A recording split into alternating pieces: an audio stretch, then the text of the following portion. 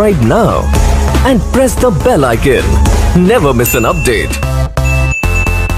Hello dear students જય Shri Krishna Gangotri school ગોંડલમાં આપ સર્વે વિદ્યાર્થી મિત્રોનું હાર્દિક સ્વાગત છે. Standard second subject English unit number seventeen જેનું નામ છે ફ્લાવર્સ આપણે લાસ્ટ લેક્ચરમાં એકતાલીસથી પચાસ એટલે કે ફોર્ટી વનથી ફિફ્ટી સુધી સ્પેલિંગ શીખી ગયા છીએ. તો હવે આપણે આજે આ લેક્ચરમાં ફ્લાવર્સ વિશે અભ્યાસ કરવાનો છે. તો ચાલો વિદ્યાર્થી મિત્રો, આગળ આપણે ફ્લાવર્સ વિશે અભ્યાસ કરીએ. આપણે બધા જ ફ્લાવરને ઓળખતા પણ હશું. દરેક ફ્લાવરની સ્મેલ છે તે અલગ અલગ હોય છે. દરેકના રંગ પણ અલગ અલગ હોય છે. દરેક ફ્લાવર છે તે ખૂબ જ સુંદર હોય છે. તો હાલો આપણે આગળ જોઈએ.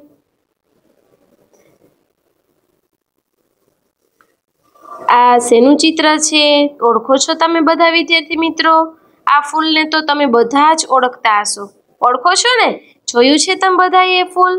કે આ ફૂલ કયું છે? આ ફૂલનું નામ શું છે? જણાવો જી.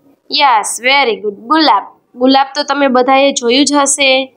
તેનો સ્પેલિંગ છે R, O, S, E. R, O, S, E. Rose. Rose એટલે ગુલાબ. R, O, S, E. Rose. Rose એટલે શું થશે વિદ્યાર્થી મિત્રો? ગુલાબ. જેને આપણે ગુજરાતીમાં ગુલાબ કહીએ છીએ.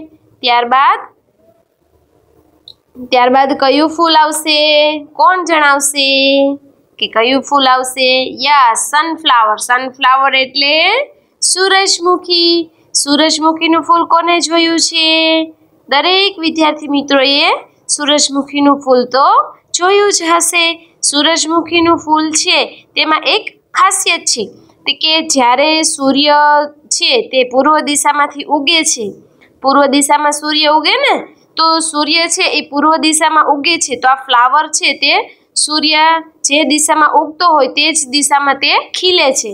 પછી સૂર્ય જેમ જેમ આથમતો જાય છે, સાંજના સમયે સૂર્ય સાવ આથમી જાય, તો આ ફૂલ છે તે પણ કરમાઈ જાય છે અને સૂર્ય જે બાજુ હોય છે તે જ બાજુ આ ફૂલ છે તેનો ફેસ રહે છે. એટલે સનફ્લાવર છે એટલે આપણે તેનું નામ સનફ્લાવર પાડવામાં આવ્યું છે, સૂરજમુખી. સૂરજમુખી જે છે, એની સ્મેલ પણ ખૂબ સરસ હોય છે. તો S U N F L O W E R S U N F L O W E R sunflower sunflower એટલે શું થશે વિદ્યાર્થી મિત્રો? હજી હમણાં જ મેં કીધું ને કે સનફ્લાવર એટલે સૂરજમુખી. સનફ્લાવર એટલે શું થશે? સૂરજમુખી.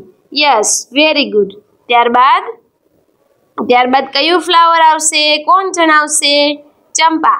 ચંપા છે તે તો આપણી આજુબાજુમાં પણ ઘણી જગ્યાએ ચંપાના ઝાડ હોય છે અને આપણે તે જોઈ પણ શકીએ છીએ. ચંપા છે, તેનું ફૂલ છે, તે વ્હાઈટ હોય છે, અંદર પીળી એવી ડિઝાઇન હોય છે. પણ ચંપાની સ્મેલ પણ ખૂબ જ સુંદર આવતી હોય છે. તમે બધાએ તેની સ્મેલ સૂંઘી છે. બહુ જ સરસ, બહુ જ સરસ તેની સ્મેલ પણ આવતી હોય છે. C H A M P A C H A M P A ચંપા. ચંપા એટલે ચંપા. ચંપાને આપણે ગુજરાતીમાં પણ ચંપા કહીએ છીએ અને અંગ્રેજીમાં પણ તેને આપણે ચંપા જ કહીએ છીએ. ત્યારબાદ શું આવશે? કયું ફ્લાવર આવશે ત્યારબાદ? શું ફ્લાવર શું ફ્લાવર એટલે શું થશે? જાસૂદ. યસ વેરી ગુડ જાસૂદ છે, તે ફ્લાવરનો કલર કેવો છે? રેડ કલર છે. તે પણ તમે બધાએ ઘણી જગ્યાએ જોયું હશે. S H O E S H O E F L O W E R F L O W E R shoe flower shoe flower એટલે શું થશે વિદ્યાર્થી મિત્રો? જાસૂદ. યસ જાસૂદ છે તે આપણી ઘરે પણ ઉગે છે. આપણે કુંડામાં વાવીએ ને તો જાસૂદ તેમાં પણ ઉગે. ત્યારબાદ આવશે lotus.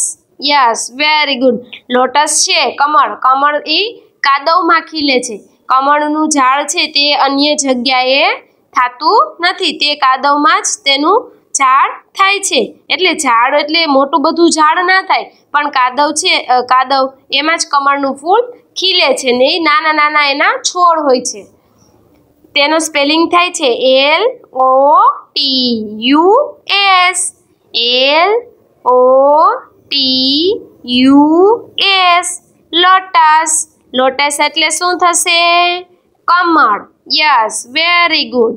ત્યારબાદ જે ફ્લાવર આવશે તે તમને બધાને ગમતું હશે. તેનો કલર છે યલો તેનું શું નામ છે? ગલગોટો. ગલગોટો પણ આપણી ઘરે ઉગે ને કુંડામાં? ગલગોટાનું ઝાડ પણ તમે બધાએ, ગલગોટાનું ઝાડ એટલે કે છોડ. છોડ તમે બધાએ જોયો હશે. આપણી ઘરે પણ ઘણી વાર ઉગે છે, આપણે વાવીએ ને, એટલે ગલગોટાનું વૃક્ષ પણ ઉગે છે. M A R I M A R I G O L D marigold marigold એટલે શું થાય? ગલગોટો. થાય ને ગલગોટો?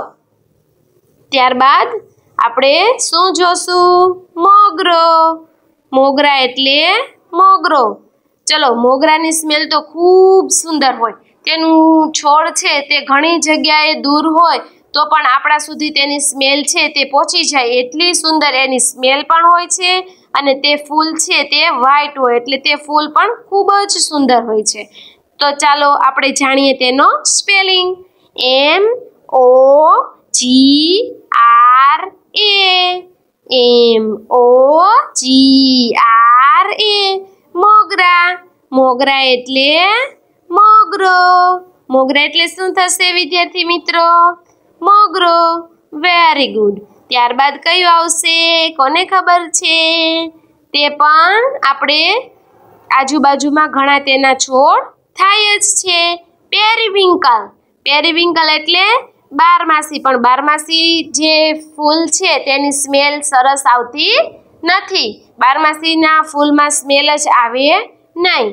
Periwinkle P E R I W I N K L E P E R I W I N K L E periwinkle periwinkle એટલે શું થશે વિદ્યાર્થી મિત્રો?